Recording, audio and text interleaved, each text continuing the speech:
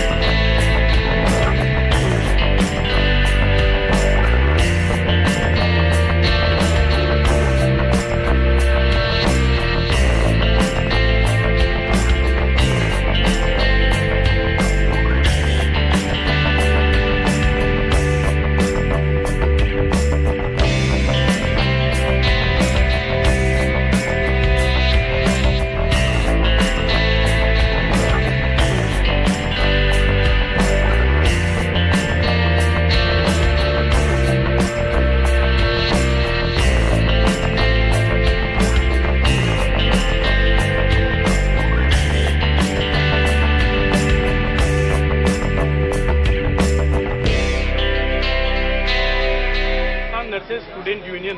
की ओर से आज यहाँ जिला कलेक्ट्री पर एक ज्ञापन श्रीमान एडीएम साहब को दिया गया है।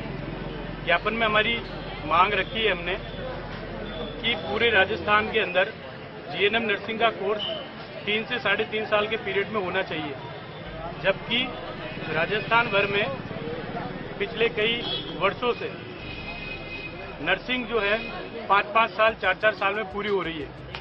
जबकि अदर स्टेट से नर्सिंग करने वाला बंदा तीन साल, साढ़े तीन साल में अपनी नर्सिंग पूरी करके राजस्थान के एग्ज़ाम को लिए एलिजिबल होता है एग्ज़ाम को फाइट करता है। तो राजस्थान के समस्त नर्सिंग शिक्षण संस्थान जहाँ साढ़े तीन सालों में नर्सिंग पूरी होनी चाहिए, सरकार से हमारी ये मांग है कि राजस्थान के समस्त नर्सिंग स्टूडेंट्स के हितों को देखते हुए उनकी नर्सिंग जो है साढ़े तीन साल में पूरी होए, ऐसी हमारी मांग